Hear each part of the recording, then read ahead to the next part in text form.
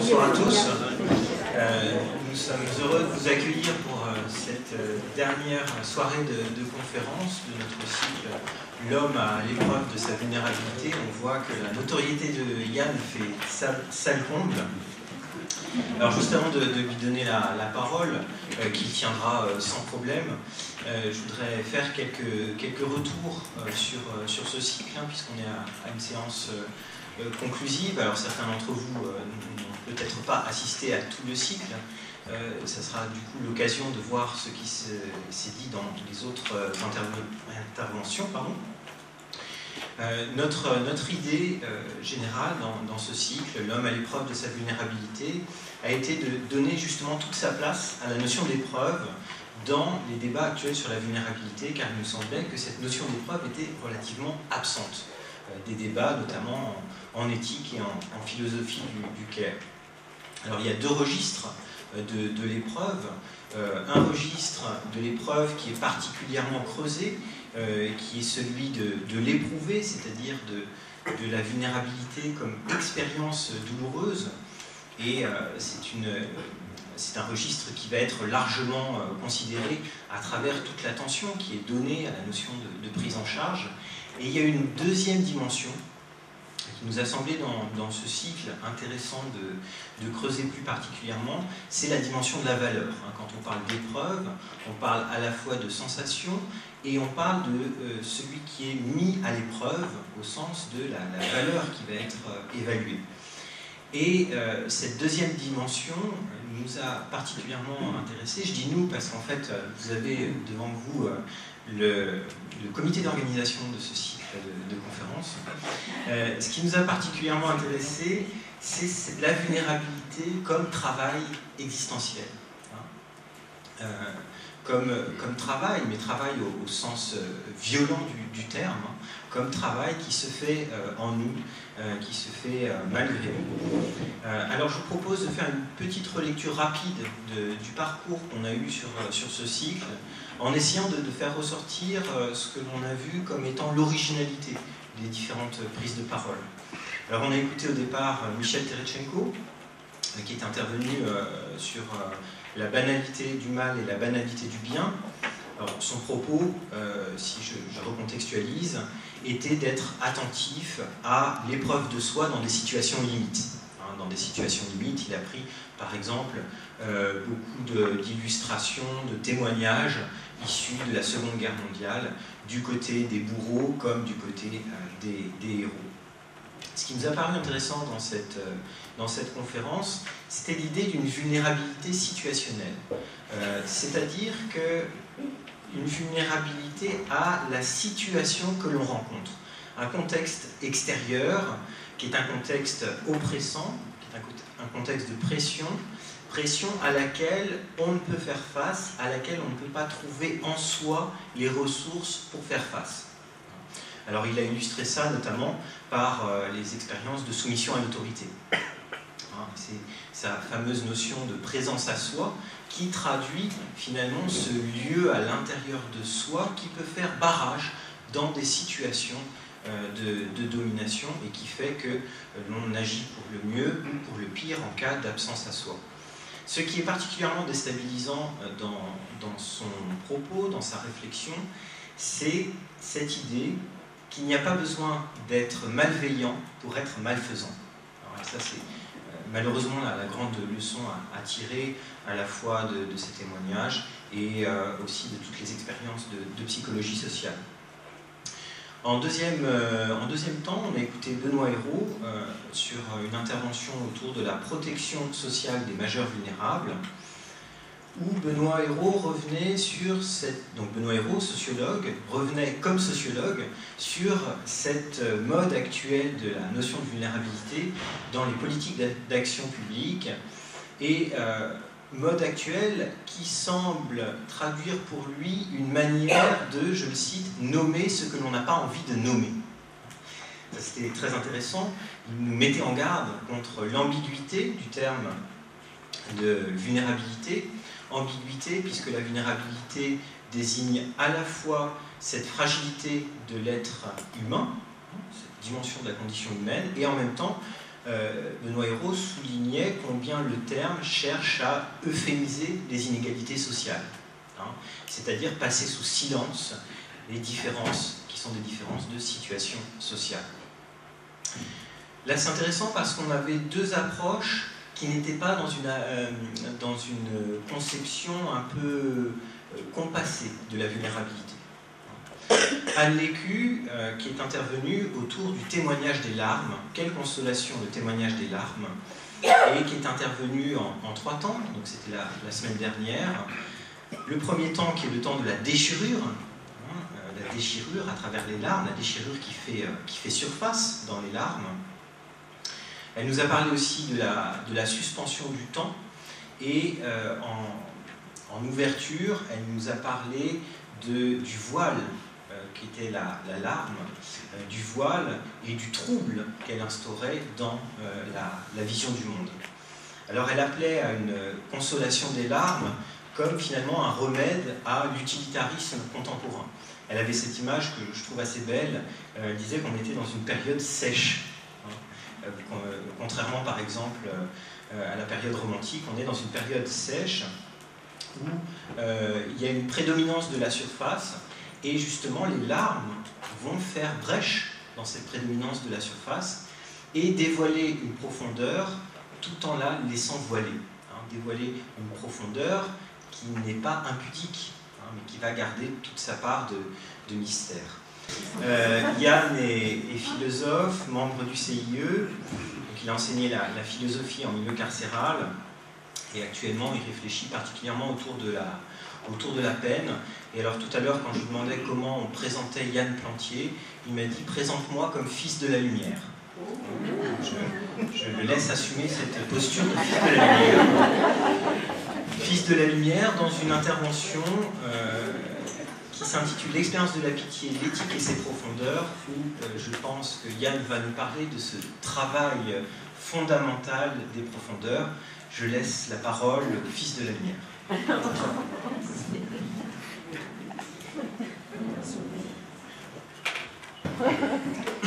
Bonsoir à vous. Je, vous vois nombreux et je suis bien évidemment euh, comme euh, toute personne qui va parler impressionnée, peut-être un peu bredouillante les premières minutes. Euh, et justement, pour euh, me rassurer, je voudrais commencer par trois remarques, trois, précautions, oratoires, comme on dit. avant même que j'entre dans le travail lui-même. La première, Laurent le rappelait, ce travail prend suite donc au terme d'un cycle de conférences et en réfléchissant, en entendant d'abord les conférenciers, en réfléchissant moi-même à ce dont on allait parler, j'étais surpris des jeux d'écho, alors qu'il faudrait pouvoir mettre à jour, exhumer, mais qui ne cessent d'être présents. Je prends simplement la dernière conférence sur les larmes et la consolation, et en entendant Anne Lécu, je ne cessais de me dire que justement, la vulnérabilité n'attend pas tant d'être comprise que d'être consolée. Et il me semble que ce déplacement-là, en tout cas, est au cœur de ce dont j'aimerais parler avec vous ce soir. Donc, un véritable jeu d'écho avec les conférences antérieures que vous n'êtes pas obligé d'avoir suivies pour comprendre ce qui va se dire, mais si vous les avez suivies, j'espère que cela sera d'autant plus riche. Deuxième euh, précaution oratoire, euh, mon travail va être relativement court, en tout cas je crois, sauf si d'un seul coup euh, je m'attarde dans certaines digressions, mais normalement il va être relativement court, d'autant plus que c'est un sujet qui, pardonnez-moi, me tient particulièrement à cœur et qui du coup m'a demandé de me prémunir moi-même en, en, écrivant ce que j'allais dire. Donc quand c'est comme ça, il y a je l'espère, euh, de la force, mais aussi quelque chose de ramassé dans ce que je vais dire. Ceci dit, c'est un choix également, parce que je pense que ça vaut vraiment la peine euh, que l'on puisse réserver un vrai temps de discussion. J'allais dire, j'ai plein d'idées. Ceci dit, si on veut dire les choses avec intelligence, il faut se concentrer sur ce qui nous semble l'essentiel. Mais il y a de la surface derrière, et cela peut ouvrir beaucoup de tiroirs. Donc j'ai dans l'idée que nous aurons de quoi parler après et je vous invite à prendre le plus librement possible la parole pour la deuxième partie. La troisième précaution que je voulais lancer, c'est entre guillemets l'état d'esprit dans lequel je suis et l'état d'esprit dans lequel je vous aimerais être. L'enjeu pour moi ce soir n'est pas de vous convaincre de l'importance de la pitié, de la beauté ou de la valeur de la pitié, mais j'aimerais que nous puissions nous en communiquer quelque chose de la flamme. Pour ça que le choix des mots et l'attente de votre écoute sont, je ne sais pas comment dire, euh, fondamentales. Bref, j'attends de vous une posture qui soit une véritable posture d'âme, comme j'espère moi-même tenter de me tenir dans une posture d'âme et non pas seulement dans une posture de pensée. Les précautions étant dites, je commence donc ma réflexion. L'éthique est une forme aiguë de l'amour. La pitié est une forme aiguë de l'éthique. Voilà la quintessence de ce que j'aimerais dire ce soir et de ce que je vais tenter d'expliciter avec vous. Vous l'avez compris, c'est le langage de l'aigu que j'aimerais parvenir à parler ce soir. Le langage de la pointe acérée, coupante et pénétrante. Vous savez, la pointe sur laquelle on craint de se blesser, mais sans laquelle aucune profondeur ne peut être atteinte. J'aimerais parler avec vous le langage de la pointe, et pardonnez-moi, j'aimerais que vous la receviez au lieu même de votre vulnérabilité.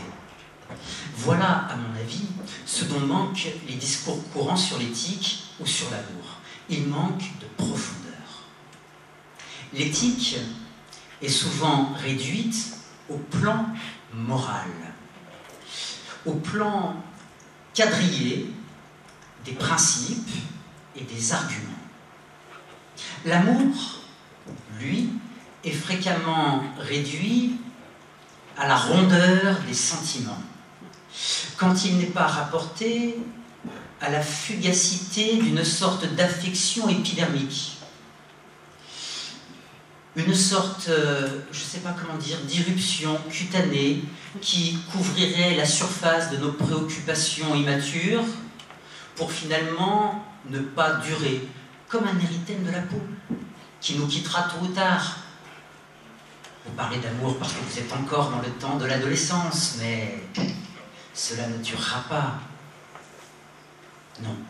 Je crois que l'amour et l'éthique ne révèlent ce qu'ils sont vraiment que dans l'acuité d'une expérience qui entre en l'homme jusqu'à son fond le plus vif et le plus vulnérable, jusqu'au cœur du cœur de sa personne, dans une blessure telle qu'il ne s'en remettra pas.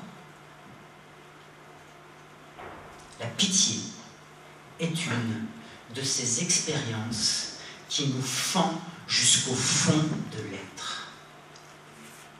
À condition cependant de ne pas en émousser la pointe par avance en s'arrangeant pour la confondre avec je ne sais quel sentimentalisme facile, avec je ne sais quel apitoiement. Très souvent, quand on parle de la pitié, c'est ce qui est renvoyé. On va essayer d'aller un peu plus profond ce soir. Commençons par l'immense pitié. Voilà ce qu'écrivait Victor Hugo dans un chapitre détaché des Misérables. Commençons par l'immense pitié.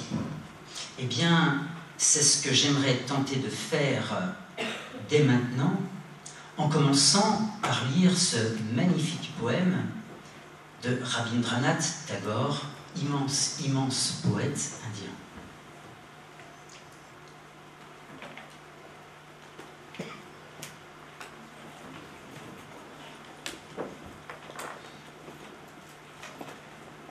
ce s'intitule Action de grâce et il est le dernier poème d'un recueil qui s'intitule La corbeille de fruits.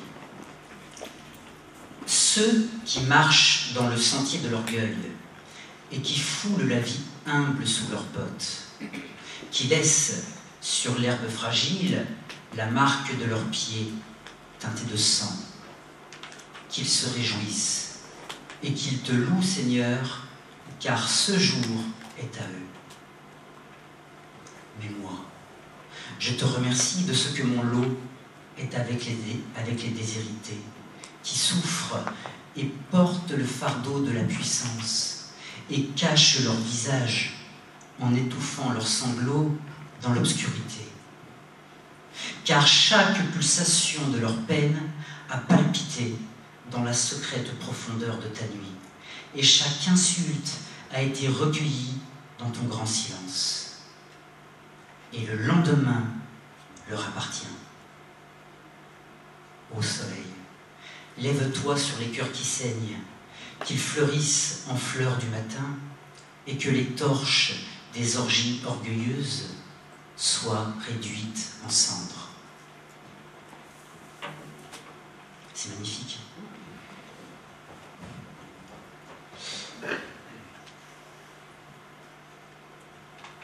L'expérience de la pitié me semble tout entière rassemblée dans ce poème qui s'avère une prière. Trois accents se laissent ici entendre, dont l'accord est le son même de la pitié véritable. L'accent de la tendresse. L'accent de la révolte. Enfin, l'accent de l'espérance, qui fait justement passer le poème à l'action de grâce. L'essence spirituelle de la pitié se tient dans le registre harmonique de ces trois fréquences existentielles, la tendresse, la révolte et l'espérance disons-le autrement, ce que je vais appeler pitié ce soir, je ne sais pas quelle idée vous avez, mais je sais, moi, ce dont je vais parler, ce que je vais appeler pitié ce soir, c'est cet accord même dans la production d'une expérience humaine infiniment nouvelle et infiniment singulière. Cet accord entre ces trois fréquences existentielles qui sont parmi les plus hautes de l'expérience humaine. Ceci dit, il est certain que la notion de pitié est largement dépréciée de nos jours par ce qu'elle semble, ce qu'elle semble receler d'affectivité facile, comme je le disais tout à l'heure à propos de l'érythème, ce qu'on lui reproche de fausse proximité ou même de supériorité entretenue à l'égard de celui sur lequel on prétend se pencher. Mon brave, on a encore un peu cette idée de la chose. À cet emportement éphémère, on préfère la solidarité réfléchie et durable. À cet apitoiement sans intelligence, on préfère l'empathie compréhensive, à ce mouvement de condescendance dont on soupçonne qu'il soit prétentieux. On préfère la compassion discrète. La pitié semble porter avec elle je ne sais quelle relance d'aristocratie. Elle porte avec elle, si vous voulez, le, tintement de la menue monnaie que l'on distribue aux mendiants à la sortie de la messe l'air faussement contrit, évidemment. La pitié, actuellement, hein, fait peser sur elle le jugement abaissant de s'adresser à un homme à qui on fait sentir qu'il est pitoyable. La pitié paraît comme la vertu bien pensante d'un âge dépassé qui n'en finit pas de venir moraliser catholiquement nos temps démocratiques, nos temps émancipés. Bref, le soupçon est fort et je dois le reconnaître, il est largement légitime. Il est largement légitime. À vrai dire, je le partage volontiers. Tout comme je le partage quand on pointe les discours convenus de la charité qui, la plupart du temps, cachent ce qui devrait relever tout simplement d'une exigence de justice. Néanmoins, néanmoins, ce qu'on désigne alors comme principe de charité a-t-il vraiment à voir avec l'expérience d'un amour qui vient de plus haut que, que, pardon, qui vient de plus haut que soi et qui enflamme notre sens même de la justice. Le principe de charité n'est pas tout à fait ce travail si profond de l'amour en l'âme.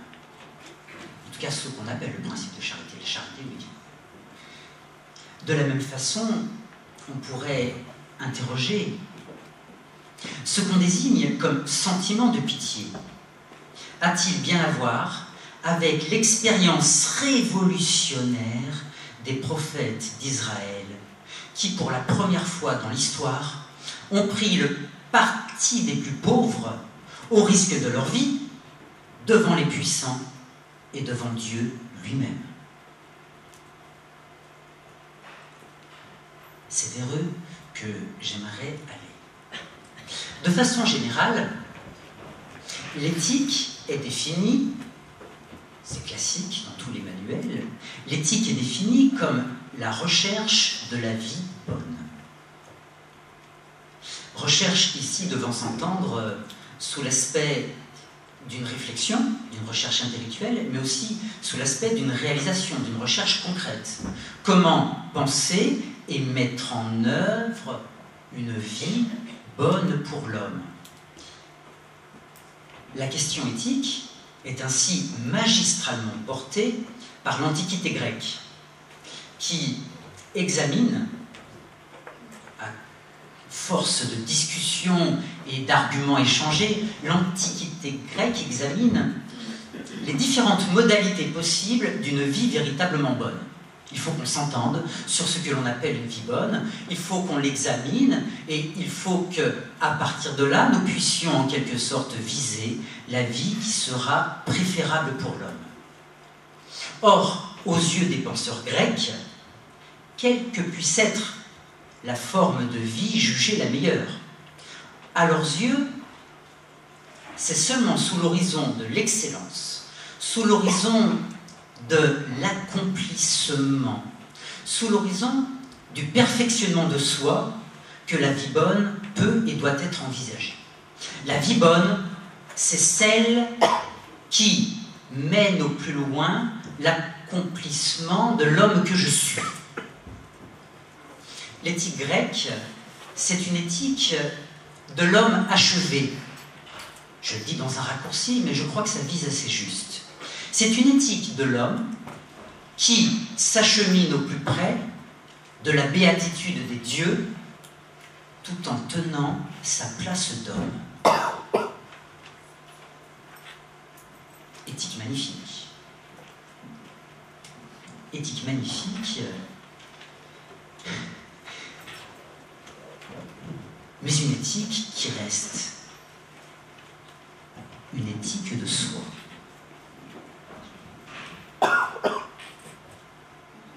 Or, c'est une toute autre approche éthique qui s'inaugure dans la haute antiquité en terre biblique. Ce n'est plus, c'est là que les choses commencent, véritablement, ce n'est plus le bonheur achevé des dieux qui devient la mesure de la quête humaine, mais c'est l'expérience éthique qui devient la pierre de touche sur laquelle se laissent discriminer les dieux qui ne sont que de vaines idoles et le Dieu qui mérite d'être appelé Dieu vivant. l'éthique, l'expérience éthique devient cette pierre de touche. Sur ces terres bibliques, l'expérience éthique devient la mesure de la religion vraie, c'est-à-dire la mesure de l'absolu, à laquelle Dieu lui-même, s'il existe, doit se conformer pour être reconnu comme Dieu vivant.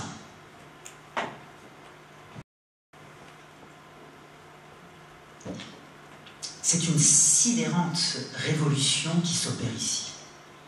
On appelle même cela une révélation.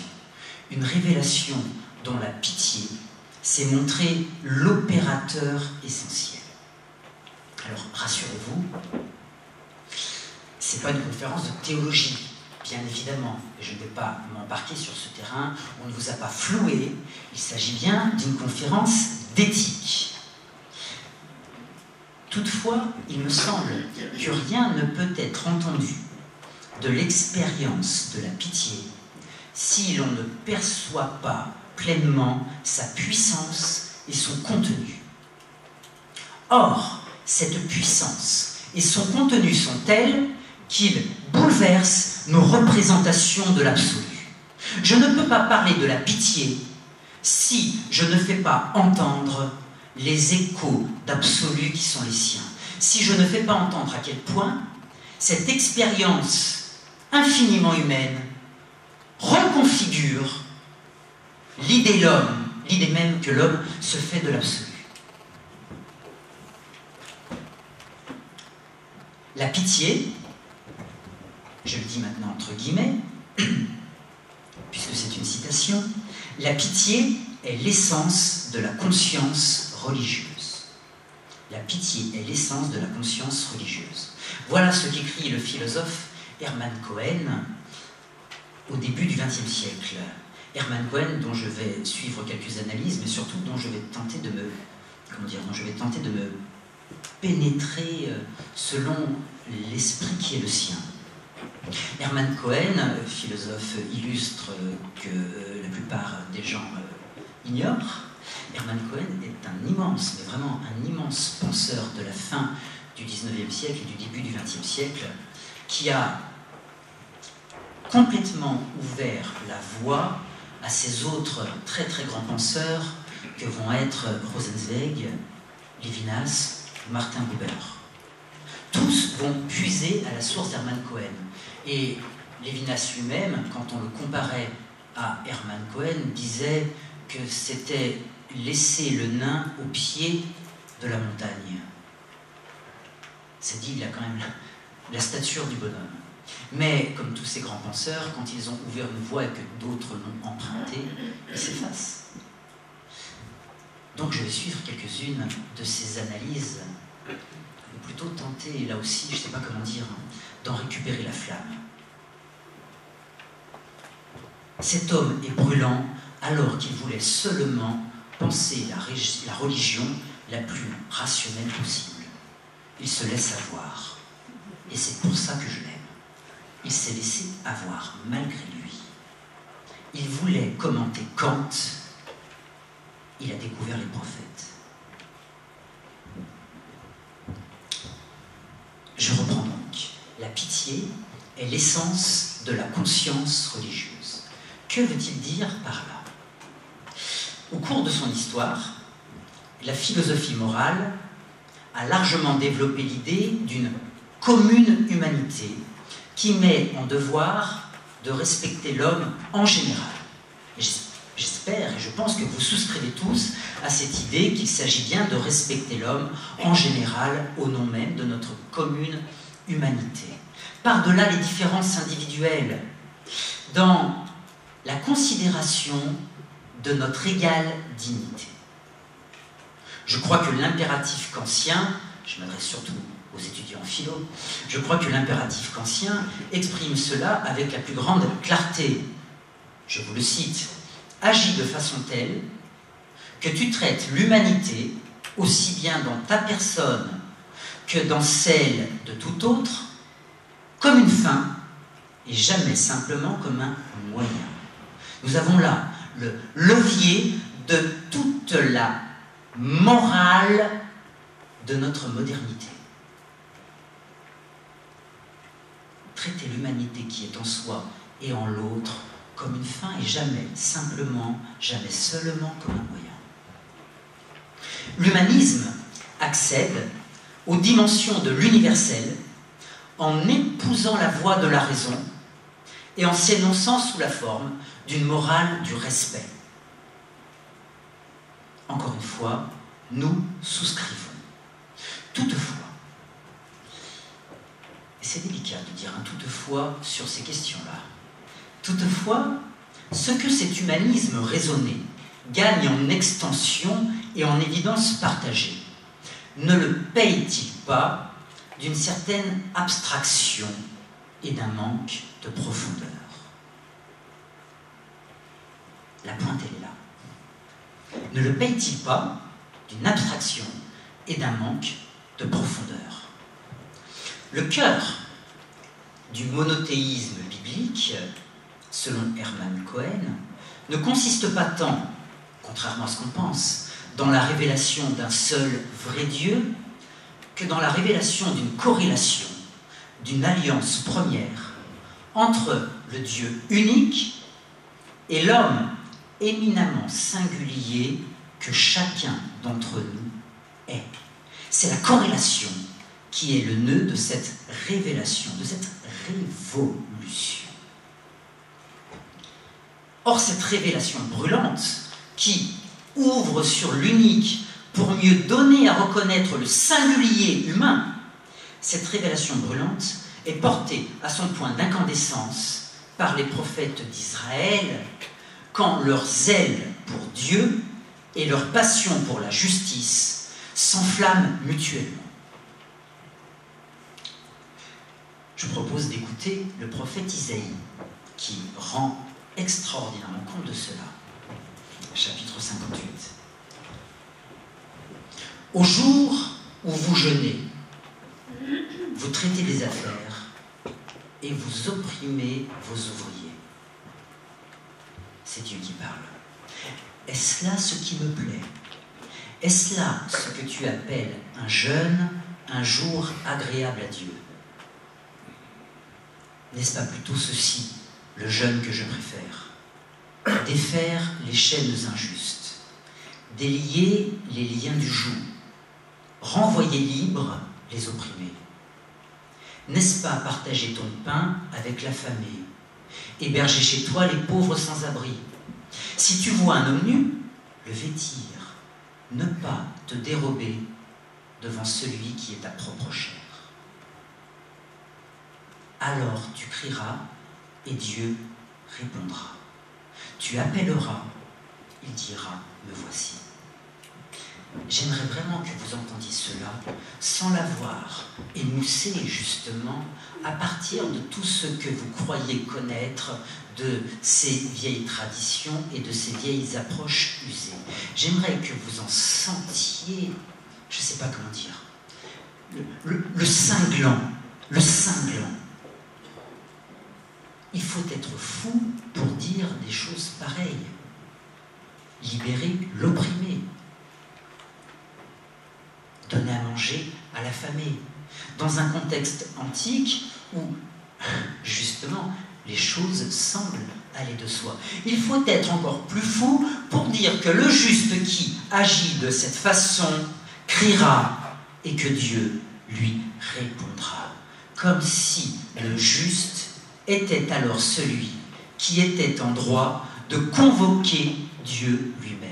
J'aimerais que vous sentiez ce basculement qui s'opère sur la scène de l'absolu, sur la scène de, des représentations que l'homme se fait de l'absolu. Ce n'est plus la représentation qui commande ici, c'est un élan de justice. Un élan il y a un plus grand écart qu'on ne le pense entre la déclaration générale d'un principe de respect concernant tous les hommes et l'appel du prophète personnellement adressé ne te dérobe pas devant celui qui est ta propre chair. Or, de qui est-il dit qu'il est ma propre chair?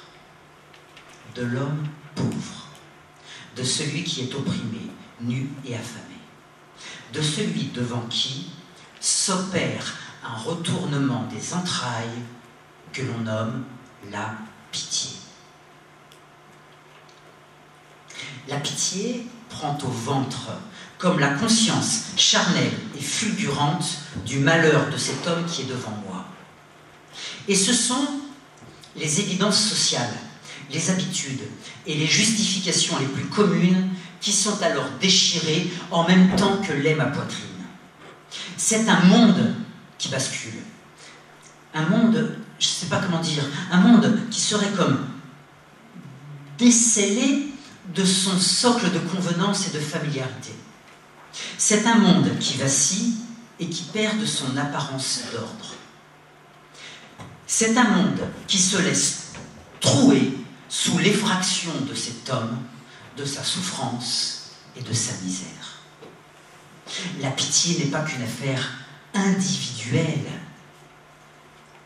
Elle n'est pas qu'une affaire affective. Elle met par terre nos représentations les plus communes. Je vivais dans ce monde et je ne savais pas.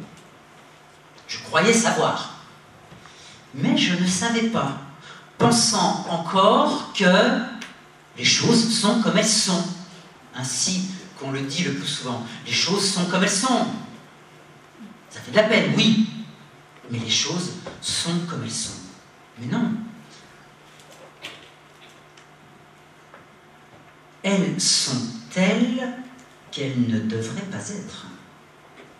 Elles sont telles qu'il n'est pas acceptable qu'elles soient ce qu'elles sont quand cet homme souffre ce qu'il souffre. Aucune sagesse du cosmos, comme chez les Grecs. Aucune nécessité bien comprise.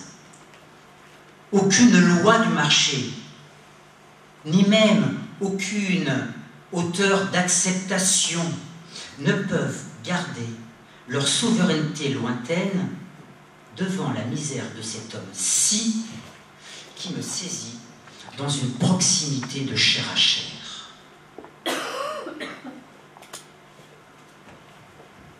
La pitié s'impose dans cet effet de réel quand la souffrance d'autrui me saute à la figure, pour ne pas dire à la gorge, de toute son injustice.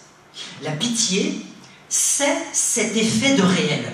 Si vous ne sentez pas, au moment où je parle, cet effet de réel, alors vous ne pouvez pas entendre ce dont je parle.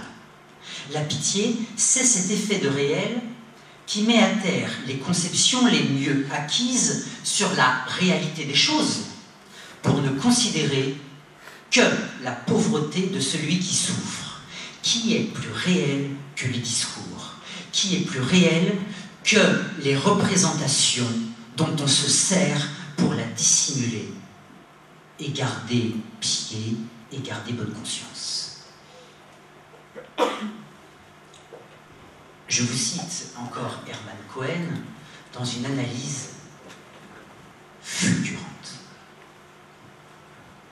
Le concept éthique principal est le respect, qui se réfère exclusivement à la dignité morale de chaque homme. Mais il ne tient aucun compte du fait que l'homme est pauvre et misérable, ou riche et opulent.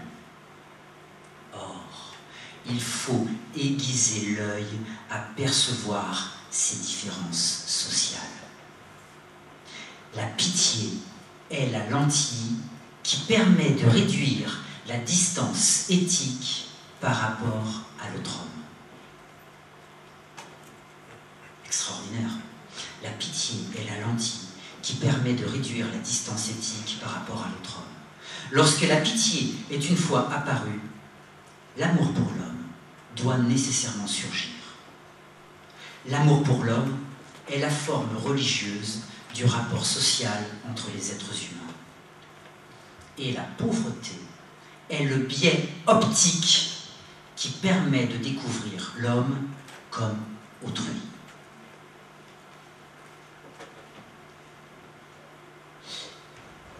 Avoir les êtres de trop haut, selon même parfois la hauteur de la morale, avoir les êtres de trop haut, on cesse de les voir. Se laisser toucher par la pitié, c'est se laisser biaiser pour regarder la personne enfin de près, dans la concrétude de sa situation sociale.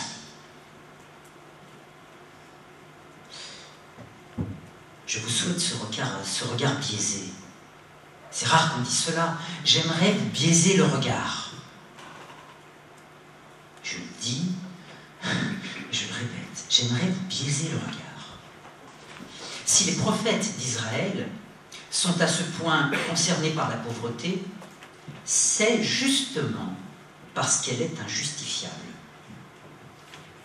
C'est-à-dire qu'elle est impossible à rapporter au péché, par exemple, de celui qui la vit. Elle est impossible à rapporter à une faute qu'il aurait commise et qui ferait qu'il mérite la situation qui est, la sienne. Nul ne mérite d'être pauvre. Nul ne mérite d'être exploité ou opprimé. Nul ne mérite d'être abandonné ou persécuté.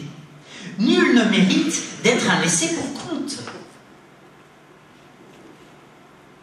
La pauvreté convoque chacun, et Dieu lui-même, au tribunal de la justice. Que ferons-nous devant la détresse de cet homme?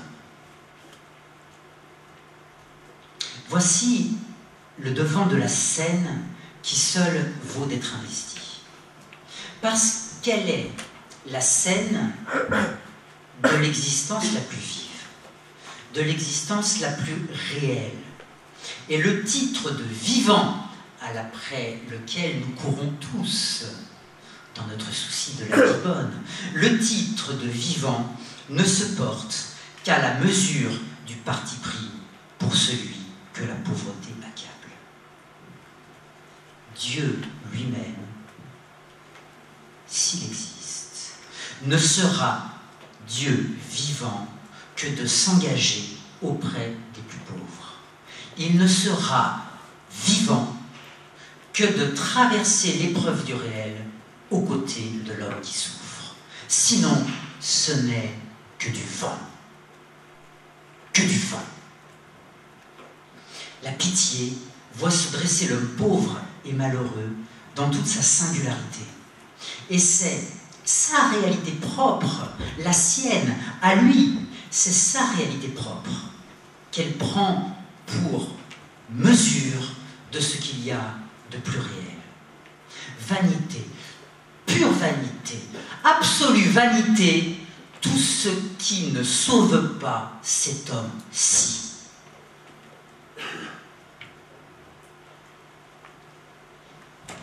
Vous voyez, ce n'est pas seulement une focalisation optique qui s'opère dans l'expérience de la pitié. Ce n'est pas qu'on y voit mieux ou qu'on voit l'homme de plus près, c'est encore bien plus profond que ça. C'est une concentration existentielle qui modifie le champ relativement stable de notre vie quotidienne pour lui donner un nouveau foyer de présence, pour lui ouvrir un nouvel horizon d'action. Ma vie ne pourra plus être la même si je fais l'expérience de la pitié. La pitié, c'est une perception pure de la détresse d'autrui qui rompt l'indifférence. C'est un éveil brutal. C'est un éveil brutal, mais c'est un éveil spirituel qui s'accomplit au plus près de l'autre, dans le déchirement d'une plainte qui ne trouve plus les. La pitié n'est pas un instinct. La pitié n'est pas un sentiment. Elle n'est même pas une vertu. Elle n'est même pas une disposition de l'âme. elle est un événement qui monte en l'homme et qui lui retourne le cœur définitivement, au point de porter une plainte qui n'est pas la sienne, au point de mener une lutte qu'il ne croyait pas sienne, au point d'annoncer une espérance qu'il ne savait pas sienne. Faisons à présent retour sur notre affirmation liminaire d'une pitié qui ne peut s'entendre que dans le nœud gordien, c'est pour les lacaniens, qui ne peut s'entendre que dans le nœud gordien de la tendresse, de la révolte et de l'espérance. J'essaie de commenter ça rapidement. La tendresse. La tendresse, c'est celle d'un homme intimement touché par ce que vit un autre. Quand je parle de la, je parle ici de la pitié, bien sûr. La tendresse, ici, c'est celle d'un homme ému, qui ne sait ni quoi dire, ni quoi faire, qui n'ose même plus poser ses yeux sur celui qui souffre de peur d'en ajouter. Vous savez, cette gêne que l'on a devant la misère de l'autre. C'est celle d'un homme qui ne sait pas, mais qui entre dans une conscience incroyablement fine de la valeur et de la fragilité d'autrui. La tendresse ici, c'est celle de la présence qui ne se dérobe pas, mais qui pleure secrètement de savoir si mal réconforter. Tellement elle voudrait, tellement elle voudrait. Je pense ici à la façon dont Etty Ilesum finit son journal intime juste avant d'être envoyé dans les camps de la mort. Elle a cette phrase extraordinaire, magnifique, splendide. On voudrait être un baume versé sur tant de plaies. Vous l'entendez, la tendresse? Celle qui voudrait, celle qui voudrait tellement. On voudrait être un baume versé sur tant de plaies. Si, si seulement je pouvais être un baume versé sur tes plaies. Voilà ce que l'on se surprend à penser, à souhaiter auprès de celui qui souffre, sans que l'on ne sache comment se tenir à ses côtés.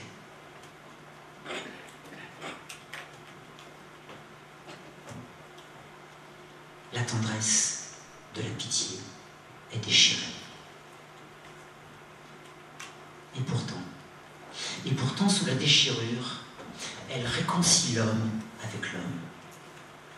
Sous la déchirure, elle fait paraître une sorte de suture mystérieuse et indéfectible qui est celle de la communion vivante. La révolte. La révolte, c'est celle qui naît de l'impuissance et de l'indignation. C'est celle du regard cru qui tombe sur les logiques d'oppression et sur les complaisances qui les soutiennent. C'est celle de l'oreille qui ne se paye plus de mots. C'est celle de l'oreille qui entend sous l'indifférence générale l'aveu le plus dur de la négligence. Et cela met en colère.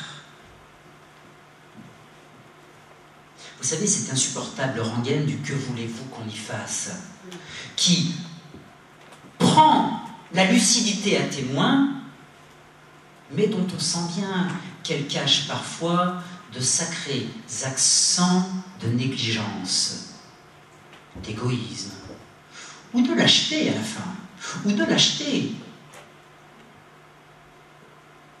La révolte, c'est celle qui ne supporte plus que cette question se pose, non pas comme une question, mais comme un désaveu. Que voulez-vous qu'on y fasse?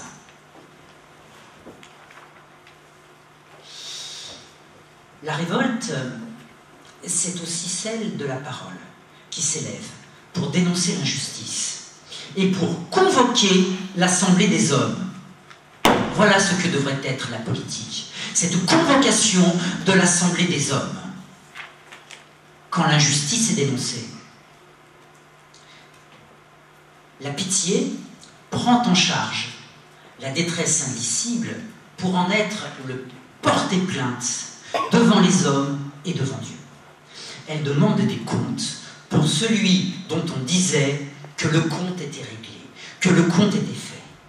Mais tout est à faire et il va falloir s'y coller parce que la souffrance est réelle et qu'on ne peut souffrir que cet autre souffre autant. La révolte, c'est celle de la tâche humaine qui doit être menée malgré l'impuissance qui nous hante et nous tourmente.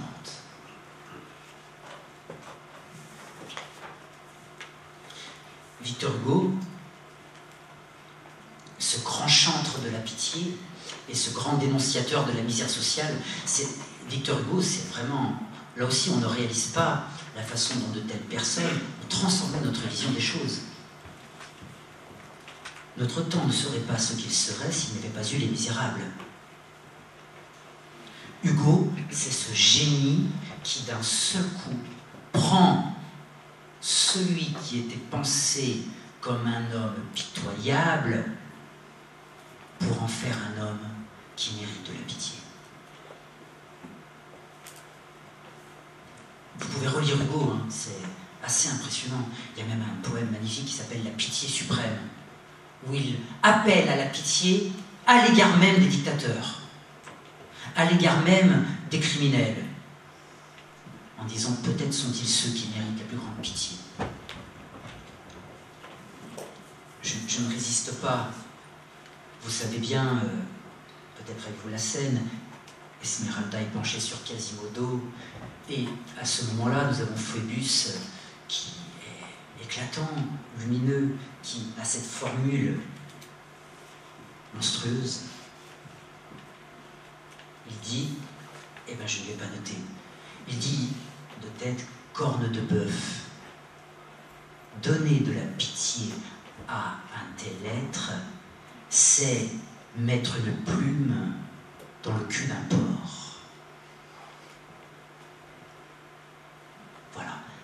Ça, c'est la représentation sociale à l'égard des misérables. Mais Hugo passe par là. Je vous invite à aller voir Hugo. Lisez Le Crapaud, par exemple. Le crapaud. Celui que des enfants veulent écraser, quand soudain arrive une charrette tirée par un âne, un âne écrasé un âne écrasé par la fatigue, qui tente un dernier effort pour s'écarter du crapaud, en le regardant d'un œil de pitié. Hugo dit lui-même que cette histoire est une histoire vraie qui lui est arrivée, et il dit qu'il a saisi alors ce qu'était le sens de la bonté dans l'œil de cet âne, penché sur un crapaud. Hugo donc. Hugo a cette formule, il dit, quand le mot amour est dans la nuit, il se prononce pitié. Quand le mot amour est dans la nuit, il se prononce pitié. Mais j'aurais envie de dire, quand la pitié elle-même touche à sa propre nuit, quand elle touche à sa nuit la plus sombre, celle de l'impuissance qui met l'âme au supplice. Alors, la révolte continue de se prononcer sous le nom brûlant de l'espérance. Quand la révolte est à la nuit, elle se prononce espérance. L'espérance est une révolte. elle est la plus haute, la plus grande des révoltes. L'espérance, donc, cette troisième fréquence existentielle, l'espérance n'est pas le pis-aller des impossibilités humaines, mais elle est la puissance qui lève sous l'impuissance quand l'amour refuse de céder. C'est comme cela que je vous, que je vous demande d'entendre l'espérance. L'espérance, c'est le parti pris ultime et sans rétractation possible pour la grandeur de l'homme et pour le nombre de ceux que la misère écrase. Ce n'est pas une fuite dans l'imaginaire, contrairement à ce qu'on avance trop facilement. L'espérance, c'est la tenue d'un cap au nom même de la détresse de l'autre. Parce que l'autre a besoin que j'espère pour vivre encore. Tu comptes? Tu comptes. Et si la réalité passe, cette certitude-là ne passera pas. Cette certitude est plus réelle que le monde que nous habitons et qui se brise à ta souffrance. Tu comptes, peut-on dire à celui qui souffre. Tu comptes et pas une de tes larmes ne sera perdue.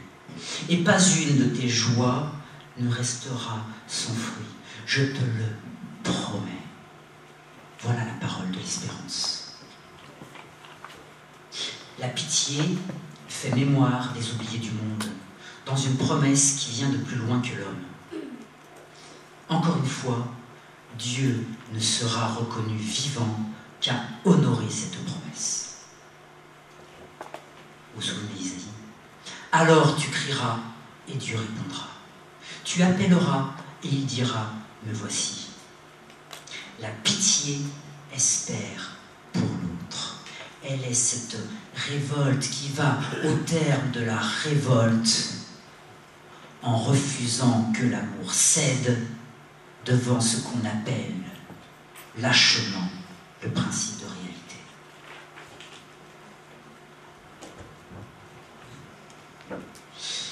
C'est, je crois, pour tout cela que l'on peut dire avec Hermann Cohen que la pitié est l'essence de la conscience religieuse. C'est une affaire d'amour et de justice. La pitié porte sa propre eschatologie, celle de la victoire des pauvres. J'arrive à la fin, je vous rassure, je vais conclure. Reconnaissez que nous sommes loin, en tout cas je l'espère, de l'apitoiement condescendant tellement dénoncé par la conscience démocratique. Nous sommes loin d'une posture affichée qui continuerait euh, de mépriser secrètement celui sur lequel on pleure. Nous sommes même loin du sentiment naturel, thématisé par Rousseau, qui, selon lui, concourt à la conservation mutuelle de l'espèce. Si vous allez sur quelques sites bien pensants de la psychologie, alors ne cherchez pas pitié, parce qu'en général, justement, elle n'a pas bonne presse, mais cherchez compassion. On vous rappelle très souvent que la compassion trouve ses racines dans cette magnifique réflexion rousseauiste sur le sentiment naturel de la pitié qui permettrait une sorte de sauvegarde de l'espèce. J'espère que vous avez compris que ce n'est certainement pas de ça dont je vous parle ce soir.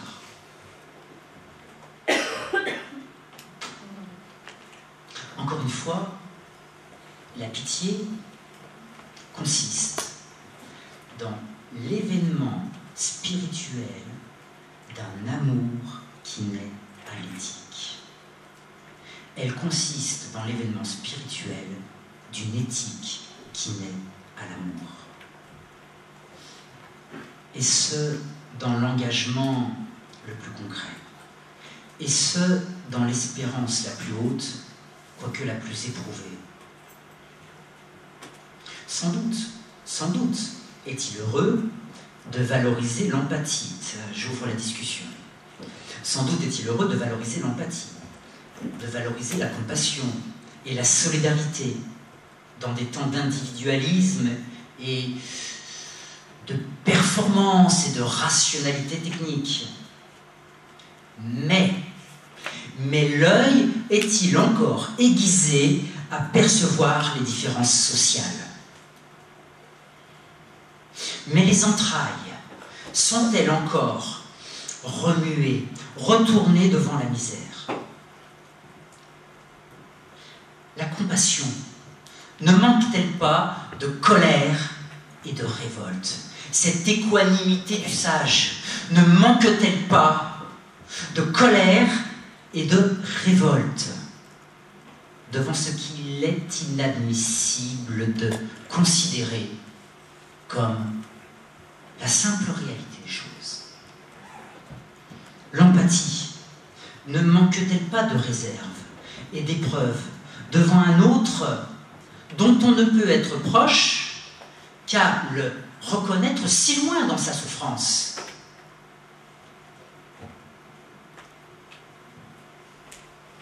La pitié est à l'épreuve. Et c'est par là qu'elle est proche. Ce n'est pas par je, ne sais quelle compétence empathique.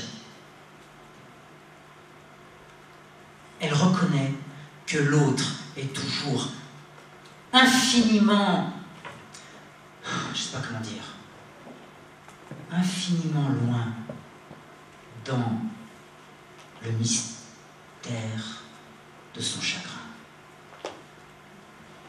Irrejoignable. Et pourtant, c'est alors qu'on peut le rejoindre.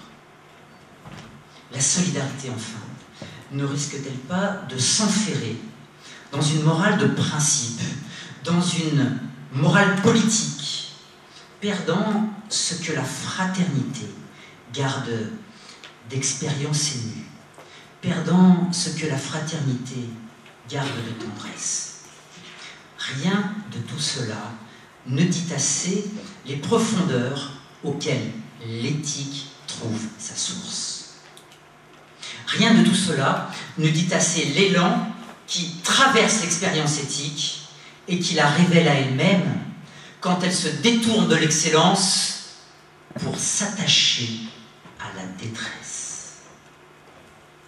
Rien de tout cela ne dit assez l'espérance qui habite l'éthique comme sa part la plus substantielle. L'éthique ne procède pas de ce monde, mais elle procède d'une parole première qui vient à l'homme quand la pitié le saisit et que monte en son fond la prière du poète. Ô soleil, lève-toi sur les cœurs qui saignent. La pitié est une forme aiguë de l'éthique. Et l'éthique est une forme infiniment aiguë de l'amour. Merci.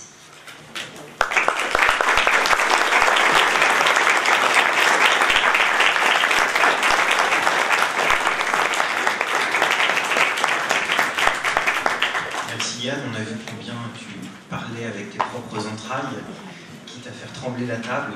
Ce cycle de conférences euh, se termine en, beauté. Euh, j'invite euh, ceux qui n'ont pas eu le bonheur de pouvoir assister aux autres conférences, qu'elles sont en ligne, car nous avons une chargée de communication qui est redoutablement efficace. Et d'ailleurs, celle de, celle de ce soir sera sans doute en ligne à minuit. Euh, nous avons euh, aussi des feuilles d'évaluation, donc nous comptons sur euh, votre collaboration hein, pour, penser ces, formules.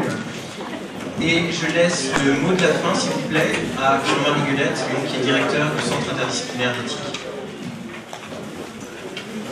Merci, juste un mot, deux mots plus exactement. Le premier pour remercier Yann et Laurent d'avoir porté l'organisation et l'animation de ce cycle de conférences sur, euh, sur la vulnérabilité et de s'y être impliqué avec Z et Flamme. Et puis deuxième mot pour vous dire euh, au revoir, parce que cette année le programme du CIE s'arrête un peu plus tôt que d'habitude, puisque nous sommes maintenant orientée vers la préparation du déménagement. Et donc, euh, cette soirée était quand même une soirée historique, puisque c'était la dernière fois depuis 27 ans que le CIE existe, que nous avions une conférence Place Bellecour. Donc, il fallait saluer cet événement avec nos deux mères fondatrices qui sont là au milieu de la salle. Et ça, pousse encore plus à écraser une petite larme. Et donc, après 27 ans de bons et loyaux services Place Bellecour, le CIE va prochainement prendre la route de la place Carnot. Et c'est dans les préparatifs du déménagement que nous arrêtons donc ce soir notre programme de l'année. Et on vous donne rendez-vous en septembre sous d'autres cieux, très loin là-bas, la presqu'île, et pour vous présenter un programme qui sera sûrement génial, mais que nous n'avons pas du tout encore préparé. Donc merci de nous avoir suivis les 27 années précédentes et à bientôt pour les 27 années suivantes.